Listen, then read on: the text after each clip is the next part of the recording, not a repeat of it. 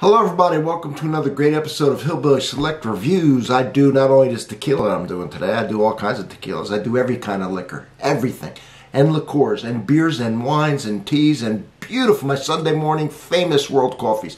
And I do some everyday stuff, and I do some unique stuff that, if you check out my playlists, the way I have it broken down, you're going to be amazed. You're going to have want to get a bunch of stuff. You can get ideas for parties, for gifts for other people that if they might be interested in some of the things I review, this is the place to go check it out. Hit me with a sub. You'll get a bell. You'll get all my notifications as you know, but you can ignore them if they don't sound. But when the ones that you have to see come on, then you click on them and you watch them. If it's something you're not interested in, you let it go by. But the sub is what I'm really after. Okay, so we're gonna do um, Código. All right, George Strait's um, tequila. Now I've done his Rosa and his Blanco. And now we're to do his uh, Añejo. So let's look at it. There it is. There it is.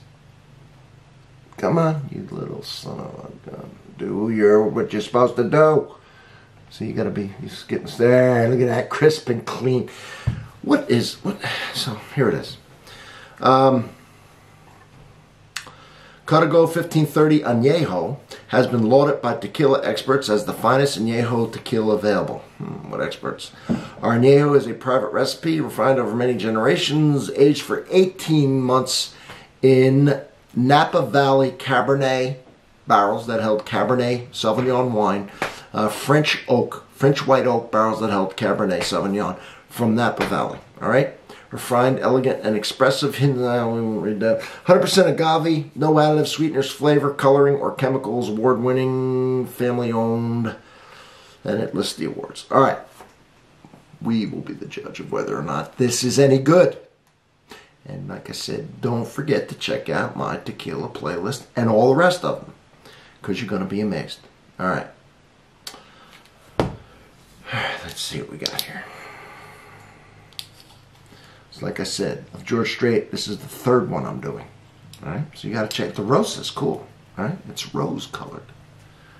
Very good. Picked up just enough of that uh, Cabernet barrel turn it that red, the rose color. All right, so here it is. Hmm. Well, I smell that oak right off the bat.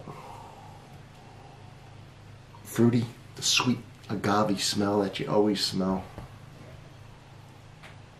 kind of a toasted type smell.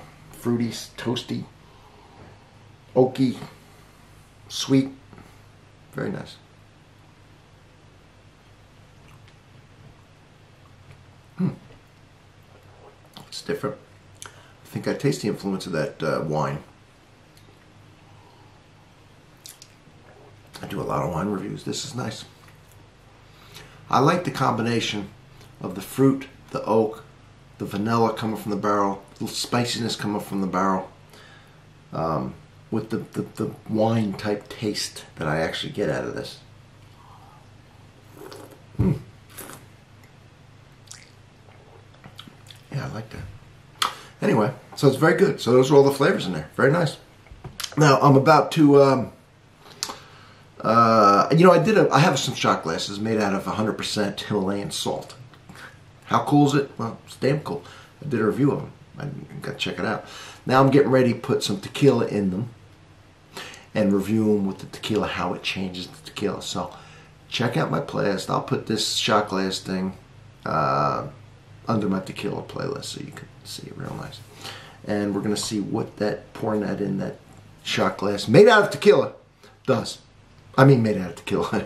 made out of Himalayan salt. It's going to be fantastic. It's how I go above and beyond. Thank you for being here. Check out my playlist. Give me the sub. And uh, just look at all the stuff I review. I'm telling you, you're going to be amazed. I have something for everybody. And in the meantime, I will see you all on the next one.